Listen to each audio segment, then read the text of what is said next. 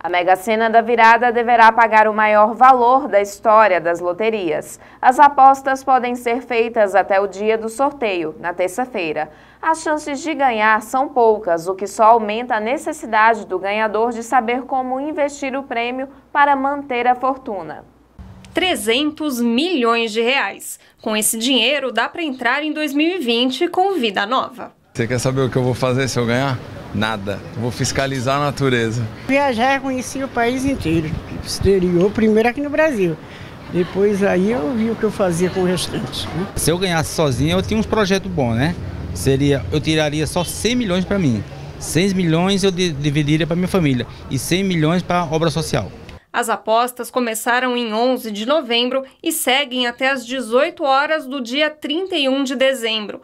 O jogo simples de seis números custa R$ 4,50, mas as chances de levar são bem pequenas, uma em 50 milhões. Se apostar 15 números no mesmo jogo, a chance é de uma em 10 mil, mas o preço é salgado, mais de R$ 22.500. Quem não quer pegar fila nas lotéricas pode fazer a aposta no portal Lotéricas Caixa. No ano passado, 52 apostas dividiram o prêmio. Cada ganhador ficou com 5 milhões e 800 mil reais. Mas independente de levar o valor mais alto ou um valor dividido, é importante saber administrar esse dinheiro. Talvez 10% desse dinheiro ela possa gastar comprando coisas que são sonhos dela, um carro importado, uma viagem muito cara, ela pode fazer isso porque afinal de contas o dinheiro foi feito para ser usado. Agora, ela começar a disponibilizar um percentual maior que esse, 30% do patrimônio, 40%, para gastar com coisas pode ser um problema. E na hora de investir, o financista recomenda fugir da poupança e procurar alternativas mais rentáveis, de acordo com o valor do prêmio. Se for uma quantia muito grande, eu diria ali um valor superior a 50 milhões, se tiver, mesmo dividindo o prêmio, tiver um valor acima de 50 milhões, aí você vai ter que fazer uma diversificação Nessa diversificação vai ter que ter renda variável, né, bolsa de valores, outros ativos, um pouco de renda fixa, CDB e outros ativos de renda fixa e até mesmo percentual imobilizado, em imóveis. Né? Você acompanha agora as notícias que chamaram a atenção do mundo neste ano de 2019. Vamos mostrar algumas das principais imagens que aconteceram de janeiro a março. Em janeiro, um desligamento parcial do governo dos Estados Unidos por causa da demanda do presidente Donald Trump por 5 bilhões e 700 milhões de dólares para construir um muro ao longo da fronteira com o México fez com que funcionários do governo deixassem de receber contra-cheques e se tornou o maior fechamento de agências federais da história americana. Hey, ho, ho, na França, protestos liderados pelos chamados coletes amarelos, item obrigatório em todos os veículos franceses, mobilizaram o país. O movimento teve início no ano passado contra o aumento de combustível, juntamente com as reformas fiscais e sociais propostas pelo governo do presidente francês Emmanuel Macron. Na Venezuela, o líder da oposição, Juan Guaidó, se autodeclarou presidente interino do país. O anúncio foi feito enquanto milhares de venezuelanos invadiram as ruas de Caracas para exigir o fim do governo do presidente Nicolás Maduro. Os legisladores britânicos derrotaram o acordo do Brexit, divórcio da Grã-Bretanha da União Europeia, proposto pela então primeira-ministra Theresa May, com uma margem esmagadora, provocando revoltas políticas. Foi a pior derrota parlamentar para um governo na história britânica recente. Em fevereiro, inundações atingiram parte do estado australiano de Queensland e forçaram mais de mil pessoas a deixar suas casas. Autoridades alertaram para o risco de crocodilos nas ruas. Militantes do Estado Islâmico estabeleceram como alvo as forças curdas na região de Idlib, o último reduto importante do grupo na Síria. O grupo extremista tinha acesso a armamento pesado e era capaz de realizar ataques à bomba e assassinatos.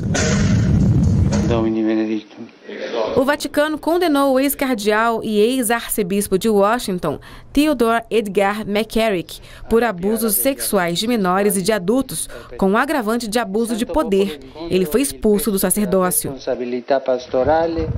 Em março, um avião da Ethiopian Airlines, que voava da capital da Etiópia, Addis Abeba, para Nairobi, no Quênia, caiu com 157 pessoas a bordo. Ninguém sobreviveu. Familiares das vítimas se emocionaram a prestar homenagens no local do acidente. Na Nova Zelândia, ataques a tiros simultâneos contra duas mesquitas na cidade de Christchurch deixaram 51 pessoas mortas e 49 feridas. A polícia descobriu dois artefatos explosivos improvisados em veículos. Os ataques foram descritos como terroristas pela primeira-ministra da Nova Zelândia, Jacinda Ardern. Na Argélia, milhares de pessoas pediram ao presidente Abdelaziz Bouteflika para que deixasse o cargo nas maiores manifestações antigovernamentais do país desde a Primavera Árabe, que tirou vários chefes do poder no Oriente Médio há oito anos. Nos Estados Unidos, uma onda de tornados afetou os estados do Alabama, Geórgia, Flórida e Carolina do Sul. 23 pessoas morreram, mais de 100 ficaram feridas e pelo menos 10 mil moradores ficaram sem eletricidade.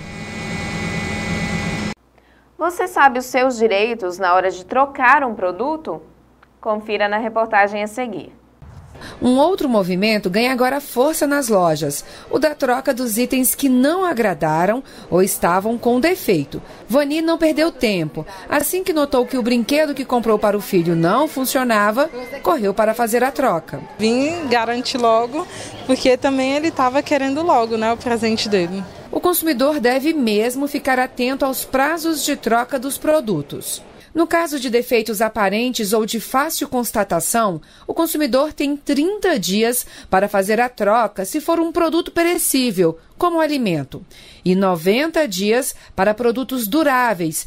Já os chamados vícios ocultos, mais difíceis de serem percebidos, dão ao consumidor o direito de reparo em até 90 dias após o momento em que ele percebe o problema. Em todos os casos, o fornecedor tem até 30 dias para reparar o produto. Quem preferiu evitar os shoppings geralmente cheios no fim do ano e comprou pela internet tem os mesmos direitos para a troca dos produtos, com um adicional, o de se arrepender pela compra. Neste caso, o consumidor tem até sete dias a partir do momento em que recebeu o produto para pedir a troca ou desfazer o negócio. Neste caso, o consumidor não precisa nem provar um vício. Ele tem direito de se arrepender daquela compra. Então, sete dias após o recebimento do produto, o consumidor, sem qualquer fundamentação, pode sim requerer a devolução daquele produto e pedir o seu dinheiro novamente, ou então requerer um outro produto da mesma qualidade. O consumidor que tiver problemas na hora de trocar um produto pode acionar o PROCON ou entrar no site consumidor.gov.br e registrar a reclamação. A solução costuma vir em até sete dias, mas é preciso ficar atento. O lojista só é obrigado a trocar o produto quando há um defeito ou quando ele faz o compromisso com o consumidor de fazer a troca. O consumidor, assim que tiver em contato com o bem adquirido ali com o produto, ele deve tirar da embalagem e testar, porque existem sim prazos que são contados para o consumidor é, requerer a reparação daquele produto. E o Minas Brasil Notícias desta sexta-feira fica por aqui. Mais notícias amanhã no Minas Brasil Notícias especial do fim de semana. Tenham uma boa noite e um ótimo final de semana.